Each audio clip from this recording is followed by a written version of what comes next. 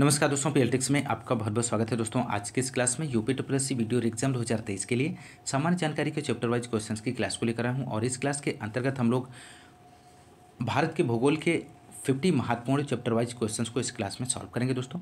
दोस्तों, यदि आप हमारे चैनल पर नए हैं तो चैनल को सब्सक्राइब कीजिए लाइक कीजिए शेयर कीजिए। दोस्तों, इसके पहले भारत के भूगोल के दो क्लासेस कंप्लीट करा दी गई हैं। यदि आपने अभी तक नहीं देखा है तो आप लोग इसी वीडियो के डिस्क्रिप्शन में लिंक मिल जाएगा, वहाँ पर जाके आप लोग देख सकते हैं। दोस्तों, आइए शुरू करते हैं आज के इस क्लास के क्वेश्चन नंबर 101 से उत्तर प्रदेश का त्रिवेणी संगम निम्नलिखित नदियों में से किसके संगम का स्थान है? तो यहाँ पर राइट आंसर आपको देना है तो राइट आंसर हो जाएगा दोस्तों ऑप्शन बी गंगा, यमुना, सरस्वती। उत्तर प्रदेश का प्रयागराज, इलाहाबाद, गंगा, यमुना और सरस्वती के संगम पर स्थित है दोस्तों। प्रयागराज में तीनों नदियाँ आकर मिलती हैं। इस स्थान को त्रिवेणी संगम के नाम से भी संबोधित किया जाता है। त्रिवेणी संगम गंगा, यमुना, सरस्वती नदियों का मिलन स्थल है। पूरे विश्व भर में प्रसिद्ध है, जहाँ पर प्रतिवर्ष माघ के महीने में माघ मेला आयोजित करता है। तो आप लोग ध्यान रखिएगा, महत्वपूर्ण प्रश्न है। अगला क्वेश्चन क्वेश्चन नंबर 102 है। इस नदी की कुल लंबाई उनतीस किलोमीटर है, यह तिब्बत में शुरू होती है, जहाँ इसे त्यांगसपो कहा जाता है और दिहांग नाम के तहत भारतीय क्षेत्र अरुणाचल प्रदेश में प्रवेश करती है। इसकी महत्वपूर्ण सहायक उपनदी सुबनसिरी कामेंग धनसिरी मानस, तिस्ता नदी का नाम क्या है? तो राइट आंसर आपको बताना है तो राइट आंसर हो जाएगा ऑप्शन सी ब्रह्मपुत्र। इसका सही जवाब बनेगा दोस्तों। अगला क्वेश्चन क्वेश्चन नंबर 103 है। निम्नलिखित में से किस नदी का समागम अरब सागर में है? तो राइट जवाब हो जाएगा ऑप्शन ए नर्मदा नदी का। नर्मदा नदी की लंबाई तेरह सौ बारह किलोमीटर है। यह विध्यांचल पर्वत श्रेणियों में स्थित अमरकंटक नामक स्थान से निकलती है। इस नदी का समागम का मोहना खंबात की खाड़ी अरब सागर में है। यह पश्चिम दिशा की ओर बहने वाली सबसे लंबी नदी है। क्वेश्चन नंबर 104 है दोस्तों। इनमें से कौन सी नदी भारत में पश्चिम दिशा में बहने वाली नदी नहीं है? आपको बताना है तो राइट आंसर बनेगा ऑप्शन डी कृष्णा।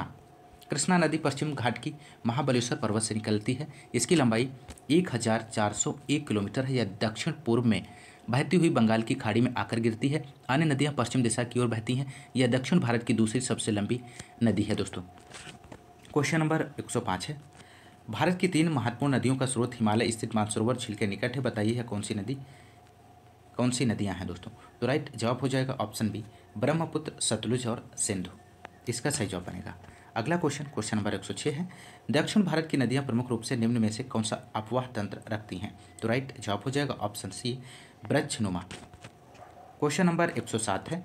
नदी के प्रवाह को मापने के लिए निम्न में से किसका उपयोग होता है? तो राइट आंसर हो जाएगा दोस्तों, यहाँ पे ऑप्शन बी, क्यूसेक। नदी के प्रवाह को मापने के लिए क्यूसेक मीटर का प्रयोग किया जाता है। क्वेश्चन नंबर 108 है दोस्तों यहाँ पर।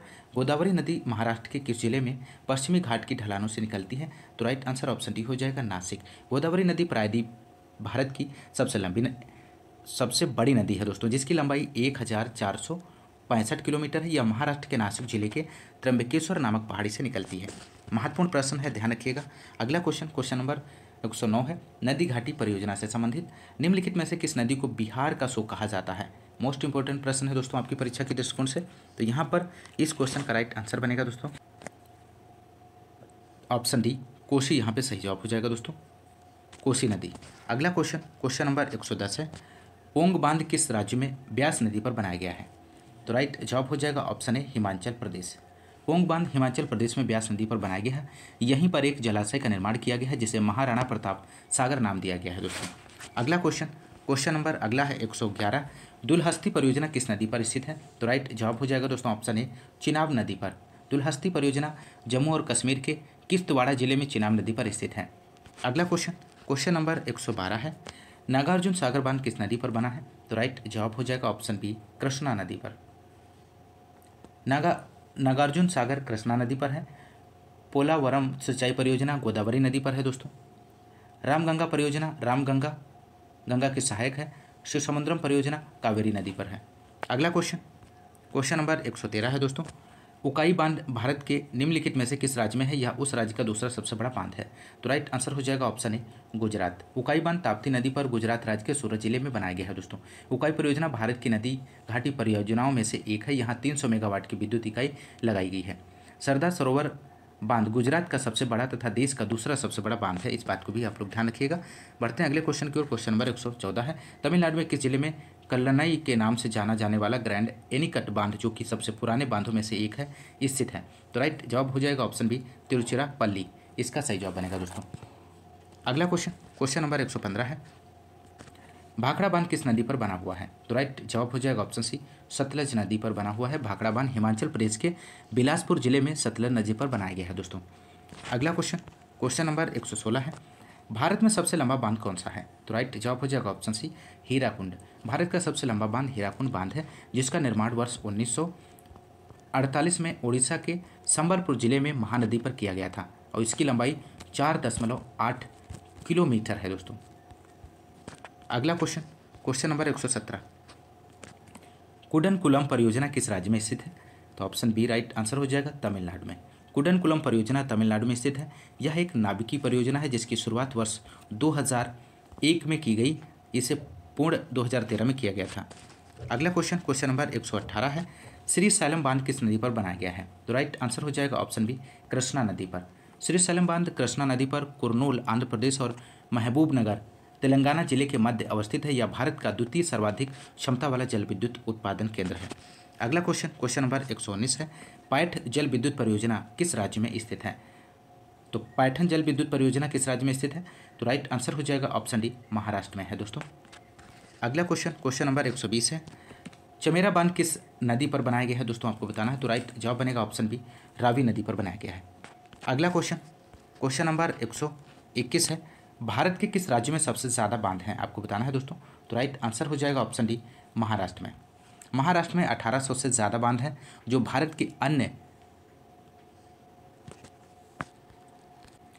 राज्यों की तुलना में ज़्यादा हैं। बांधों की संख्या के आधार पर मध्य प्रदेश व गुजरात दूसरे व तीसरे स्थान पर है दोस्तों।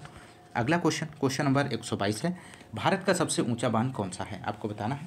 तो यहाँ पर इस क्वेश्चन का राइट आंसर हो जाएगा ऑप्शन बी, टिहरी। टिहरी बाँध भारत का सबसे ऊँचा तथा विश्व का पांचवा सबसे ऊँचा बाँध है।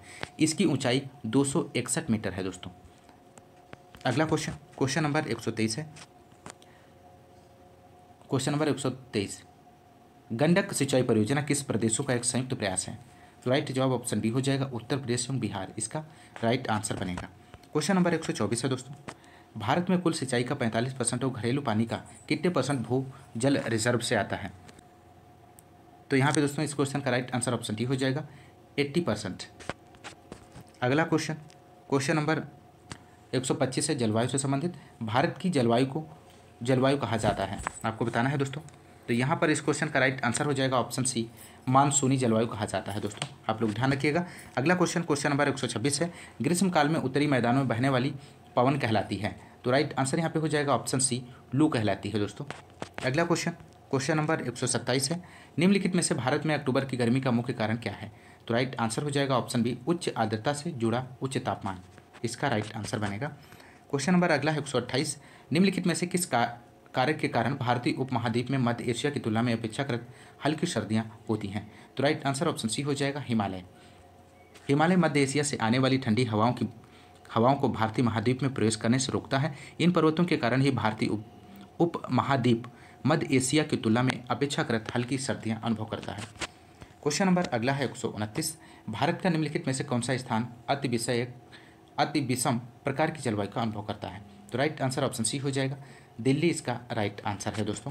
क्वेश्चन नंबर एक सौ तीस। सर्दियों के मौसम के दौरान उत्तर पूर्वी देश पर हावी रहती है। वे भूमि से समुद्र की ओर बहती हैं और इसलिए देश के अधिकांश भाग के लिए यह एक शुष्क मौसम है। तो यहाँ पर राइट आंसर बनेगा ऑप्शन सी व्यापारिक पवने अगला क्वेश्चन क्वेश्चन नंबर एक सौ इकतीस है दोस्तों यहाँ पर। क्वेश्चन नंबर एक सौ इकतीस। भारतीय उपमहाद्वीप दक्षिण अमेरिका के उत्तर पूर्वी भाग और उत्तरी ऑस्ट्रेलिया में पाया जाता है। तो राइट आंसर ऑप्शन ए हो जाएगा उष्ण कटबंधी मानसून जलवायु। अगला क्वेश्चन क्वेश्चन नंबर एक है दोस्तों। सलालपन बिजली परियोजना किस नदी पर स्थित है? तो राइट आंसर हो जाएगा ऑप्शन सी चिनाब नदी पर है दोस्तों। ब्यास परियोजना, ब्यास नदी पर है। रंजीत सागर बाँध, रावी नदी पर है। सलाल बिजली परियोजना, चिनाब नदी पर है। और तुलबुल परियोजना, झेलम नदी पर है। और दुल्हस्ती परियोजना, चिनाब नदी पर है। बगलिहार परियोजना चिनाब नदी पर है। दोस्तों, आप लोग ध्यान रखिएगा। अगला क्वेश्चन क्वेश्चन नंबर एक सौ तैंतीस है। भारत के उत्तर पश्चिमी भाग में निम्न में से किस एक के कारण शीतकाल के दौरान वर्षा होती है? तो राइट आंसर ऑप्शन बी हो जाएगा, पश्चिमी विक्षोभ। क्वेश्चन नंबर अगला है, एक सौ चौंतीस है। भारत में ग्रीष्मकालीन मानसून के प्रवाह की सामान्य दिशा निम्नलिखित में से कौन है? तो राइट जवाब यहाँ पे आपको देना है। तो राइट जवाब ऑप्शन डी हो जाएगा, दक्षिण पश्चिम से उत्तर पूर्व इसका राइट आंसर हो जाएगा। अगला क्वेश्चन क्वेश्चन नंबर एक सौ पैंतीस है।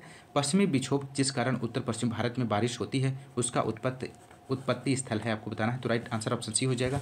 भूमध्य। अगला क्वेश्चन क्वेश्चन नंबर एक सौ छत्तीस है दोस्तों यहाँ पर। भारत में कितनी फसली ऋतुएँ पाई जाती हैं, आपको बताना है तो राइट आंसर हो जाएगा ऑप्शन सी थर्ड भारत में तीन फसली ऋतुएँ पाई जाती हैं, जिसे रवि खरीफ, जायद की फ़सल ऋतु कहते हैं दोस्तों। अगला क्वेश्चन क्वेश्चन नंबर एक सौ सैंतीस है। भारत की उच्चतम वार्षिक वर्षा कहाँ पर दर्ज की गई है? तो राइट आंसर ऑप्शन सी हो जाएगा। मासिन राम मेघालय, इसका सही जवाब बनेगा। अगला क्वेश्चन क्वेश्चन नंबर एक सौ अड़तीस है। उस दिन को वर्षा दिन माना जाता है, जिस दिन वर्षा होती है। तो राइट आंसर हो जाएगा ढाई एम एम यहाँ पर राइट जवाब बनेगा दोस्तों। अगला क्वेश्चन क्वेश्चन नंबर अगला है एक सौ उनतालीस। मिट्टी से संबंधित। मरुस्थलीय मिट्टी के बारे में निम्नलिखित में से कौन सा कथन गलत है आपको बताना है तो राइट आंसर हो जाएगा ऑप्शन बी यह नमी की मात्रा को बरकरार रखता है। अगला क्वेश्चन क्वेश्चन नंबर 140 है। शुष्क मृदा, जिसमें ठोस तथा छिद्र दोनों शामिल हैं, का एक इकाई आयतन द्रव्य भार कहलाता है। तो राइट आंसर ऑप्शन बी हो जाएगा, इनमें से कोई नहीं। नेक्स्ट क्वेश्चन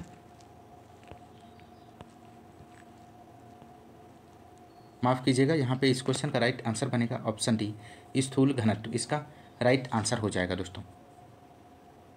अगला क्वेश्चन क्वेश्चन नंबर 141 है। एक संसाधन के रूप में मिट्टी के कटाव और हास्य को मिट्टी के संबंध में प्रमुख खतरा माना जाता है। निम्नलिखित में से कौन सा विकल्प मिट्टी के संरक्षण का महत्वपूर्ण उपाय नहीं है? तो राइट आंसर हो जाएगा ऑप्शन सी बारिश के पानी में बह जाना। इसका राइट आंसर हो जाएगा अगला क्वेश्चन क्वेश्चन नंबर एक सौ बयालीस है। खादर और बांगर निम्नलिखित में से किस प्रकार की मिट्टी है? मोस्ट इंपॉर्टेंट प्रश्न है दोस्तों। आपकी परीक्षा के दृष्टिकोण से तो यहाँ पे इस क्वेश्चन का राइट आंसर बनेगा। ऑप्शन बी जलोड इसका सही जवाब हो जाएगा। नदियों द्वारा लाई गई मिट्टी के, को जलोड मिट्टी कहते हैं। इस मिट्टी में पोटास की बहुलता होती है, लेकिन नाइट्रोजन, फास्फोरस, ह्यूमस की कमी होती है। यह भारत की सबसे उपजाऊ मृदा है दोस्तों। पुराने जलोड मिट्टी को बांगर और नई जलोड मिट्टी को खादर कहा जाता है। जलोढ़ मिट्टी उर्वरता की दृष्टि से धान, गेहूँ, मक्का, तिलहन, दलहन आदि फ़सलों के लिए अच्छी मानी जाती है। तो राइट आंसर ऑप्शन बी हो जाएगा। क्वेश्चन नंबर एक सौ तैंतालीस है। भारत के कोई कोई क्षेत्रों में लाल मिट्टी पाई जाती है। मिट्टी के लाल रंग होने का मुख्य कारण क्या है? इनमें से आपको बताना है। तो राइट आंसर ऑप्शन सी हो जाएगा। फेरस ऑक्साइड की उपस्थिति। क्वेश्चन नंबर एक है। टेरा रोसा शब्द का तात्पर्य है। तो राइट आंसर हो जाएगा ऑप्शन बी लाल मिट्टी से है दोस्तों। क्वेश्चन नंबर एक सौ पैंतालीस। तेज हवाओं द्वारा किस प्रकार की मिट्टी उड़कर आती है और जमा हो जाती है? तो राइट आंसर ऑप्शन डी हो जाएगा, बलुई मिट्टी। इसका सही जवाब है। क्वेश्चन नंबर एक सौ छियालीस है। यहाँ पे आपको फिल करना है। लहरदार भूमि और रेतीली मिट्टी की सिंचाई के लिए उपयुक्त विधि है। तो राइट आंसर ऑप्शन बी हो जाएगा। फव्वारा इसका राइट आंसर बनेगा। क्वेश्चन नंबर एक सौ सैंतालीस है। निम्नलिखित में से किस राज्य में काली मिट्टी पाई जाती है? तो राइट आंसर बनेगा यहाँ पे दोस्तों। इस क्वेश्चन ऑप्शन सी गुजरात। अगला क्वेश्चन क्वेश्चन नंबर एक सौ अड़तालीस है यहाँ पे दोस्तों आपको फिल करना है। मिट्टी भारत में सर्वाधिक मात्रा में पाई जाती है। तो कौन सी मिट्टी है? जो भारत में सर्वाधिक मात्रा में पाई जाती है तो राइट आंसर हो जाएगा ऑप्शन सी जलोढ़ मिट्टी भारत में सर्वाधिक मात्रा में पाई जाती है। क्वेश्चन नंबर एक सौ उनचास है। भारत के किस राज्य में सबसे बड़ी अंतर्देशीय लवड़ी आर्द्रभूमि है? तो राइट आंसर बनेगा ऑप्शन सी राजस्थान। सांभर नामक झील भारत की सबसे बड़ी अंतर्देशीय लवड़ी आर्द्रभूमि है या राजस्थान राज्य में इससे झील है। क्वेश्चन नंबर अगला है। वन वन्यजीव वनस्पतियों से संबंधित क्वेश्चन नंबर एक सौ पचास। सागौन के जंगल भारत के निम्नलिखित में से किस राज्य में पाए जाते हैं? तो राइट आंसर यहाँ पे आपको देना है दोस्तों। दिए गए ऑप्शंस में से तो राइट आंसर हो जाएगा ऑप्शन बी मध्य प्रदेश।